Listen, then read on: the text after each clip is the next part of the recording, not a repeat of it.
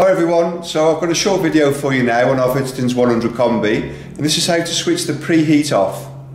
When you get the boiler out the box and you've hung it on the wall and you've done your commissioning, when you come to use the boiler the preheat will automatically be set to on so we do need to turn the preheat off should the customer request this.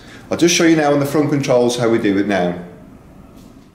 Okay, so when you get to the boiler, if it's in standby mode because it's not been interacted with on the front display for a while, we just press the menu button to bring the boiler back to life and you see the front screen. Okay, so now we're going to turn the preheat function off. To do this, we put the eco mode on. So we use the menu button to toggle across the top of the screen. Once we go past the pressure to the leaf, we can see here the eco mode is set to off. To turn the eco mode on, you turn it on by pressing the arrow up, press OK to submit it, and then we see the leaf appear on the left hand side. That's now preheat off with the eco mode on. We press the menu button to return to the main menu.